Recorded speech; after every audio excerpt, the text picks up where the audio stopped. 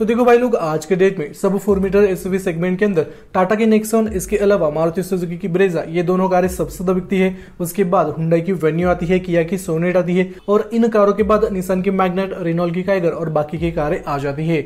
और इस सेगमेंट के अंदर काफ़ी ज़्यादा कॉम्पिटिशन है, काफ़ी ज़्यादा कारें बिकती है इस सेगमेंट के अंदर और कल ही होंडा कंपनी ने न्यू जनरेशन डब्ल्यू को ग्लोबली रिवील कर दिया है। इस कार को बहुत जल्दी इंडियन मार्केट में लॉन्च किया जाना है, लेकिन होंडा कंपनी ने इस कार के अंदर बहुत ही बड़े बड़े बदलाव बदलाव करे हैं। इस कार का एक्सटर लुक कम्प्लीटली चेंज किया है। इंटीरियर को भी कम्प्लीटली चेंज किया है। और सबसे इंपॉर्टेंट चीज़ अब आपको होंडा की डब्ल्यू के अंदर एडास टेक्नोलॉजी का ऑप्शन मिलने वाला है।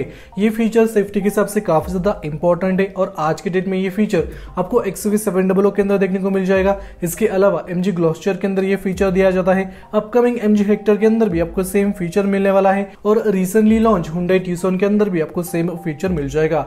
इसके अलावा जितनी भी महँगी कारें इंडियन मार्केट में बिकती है उन कारों के अंदर आपको एडास टेक्नोलॉजी का ऑप्शन मिल जाएगा। तो सेम फीचर आपको होंडा की डब्ल्यू के अंदर मिलने वाला है, जो की सेफ्टी के हिसाब से काफ़ी ज़्यादा इंपॉर्टेंट रोल प्ले आउट करता है। और एडास टेक्नोलॉजी के तहत इस कार के अंदर लेन कीप असिस्ट ये फीचर ऑफ़र किया जाएगा। इसके अलावा road departure mitigation adaptive cruise control auto high beam automatic emergency braking और ढेर सारे फीचर्स आपको इस एडास टेक्नोलॉजी के तहत मिलने वाले हैं। तो ये भी काफ़ी ज़्यादा बढ़िया बात है। और स्टैंडर्ड सेफ्टी के तौर पर आपको छह एयरबैग्स मिलेंगे एबीएस के साथ एबीडी इलेक्ट्रॉनिक स्टेबिलिटी कंट्रोल और बाकी के फीचर्स आपको as a standard safety features मिलने वाले हैं। तो होंडा कंपनी ने न्यू डब्ल्यू के अंदर सेफ्टी का काफ़ी ध्यान रखा है। इस कार के अंदर आपको अच्छे खासे सेफ्टी फीचर्स मिल जाएँगे।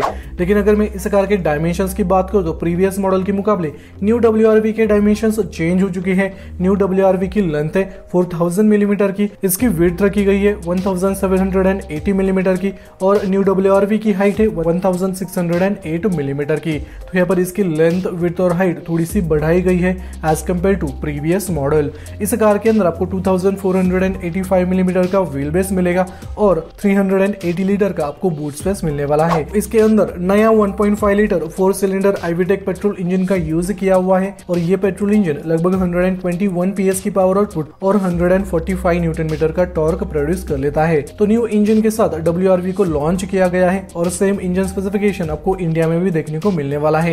अगर मैं वेरियंट्स की बात करूँ तो इस कार को तीन अलग वेरिएंट के साथ लॉन्च किया गया ई आर एस और आर एस सेंसिंग ये तीन वेरिएंट्स आपको इस कार के अंदर देखने को मिल जाएँगे।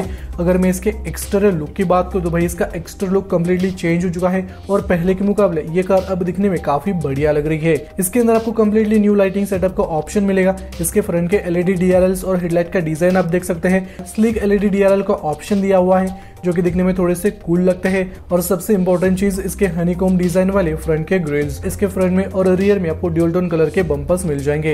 यानी बम्पर्स के ऊपर सिल्वर स्कीट प्लेट का ऑप्शन दिया हुआ है और इस कार के अंदर 17 इंचेस के आपको ड्यूल टोन कलर वाले ऑलॉय व्हील्स भी मिलने वाले हैं।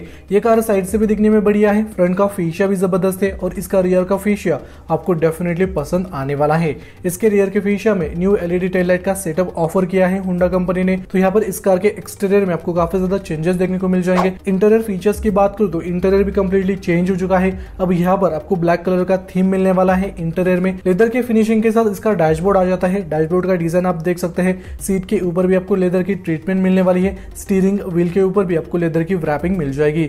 यहाँ पर आपको मल्टी फ़ंक्शन स्टीयरिंग व्हील का ऑप्शन मिलने वाला है और स्टीयरिंग व्हील का डिज़ाइन भी कम्प्लीटली नया रखा है होंडा कंपनी ने। इसके अलावा आपको सेवन इंच का बड़ा टच स्क्रीन इन्फोटमेंट सिस्टम मिलेगा, जो कि आता है एंड्रॉइड ऑटो और एप्पल कारपे के सपोर्ट के साथ कार कनेक्टेड टेक्नोलॉजी का ऑप्शन भी ऑफ़र किया है यहाँ पर। इसके अलावा automatic climate control wireless smartphone charging voice command और ढेर सारे फीचर्स आपको होंडा की इस एस कार के अंदर देखने को मिल जाएँगे। देखो, कल ही इसको इंडोनेशियन मार्केट में लॉन्च किया गया। इंडोनेशियन मार्केट के प्राइसेस आ चुकी है, लेकिन सबसे पहले इसको ग्लोबल मार्केट में बेचा जाएगा और अगले एक दो महीनों के अंदर ये कार इंडियन मार्केट में एंट्री कर देगी। शायद जनवरी 2023 या फिर मार्च 2023 तक ये कार इंडियन रोड पर आपको देखने को मिलने वाली है। और रही बात प्राइसिंग की तो जो करंट मॉडल इंडियन मार्केट में बिक रहा है डब्ल्यू का, उसकी कीमत नाइन लाख रुपए से शुरू हो जाती है। और जो अपकमिंग डब्ल्यू रहेगी, उसकी कीमत आपको स्लाइटली थोड़ी सी ज़्यादा देखने को मिलने वाली है। लेकिन सबसे इंपॉर्टेंट चीज़ होंडा कंपनी ने इस कार का लुक कम्प्लीटली नया रखा है। इंटीरियर भी कम्प्लीटली नया रखा है। और यहाँ पर आपको एडास टेक्नोलॉजी का ऑप्शन मिलने वाला है, जो कि सेफ्टी के हिसाब से काफ़ी ज़्यादा इंपॉर्टेंट है। और बहुत जल्दी हुंडई कंपनी क्रेटा के अंदर सेम फीचर को ऑफ़र करने वाली है। अपकमिंग सेल्टोस के अंदर भी आपको सेम फीचर फीचर देखने को मिल जाएगा। जैसे ही ये कार इंडियन मार्केट में लॉन्च होती है, इनका डिटेल रिव्यू वीडियो मैं ज़रूर लाऊँगा। उसके लिए आपको चैनल को सब्सक्राइब करके बेल नोटिफिकेशन को ऑन रखना है।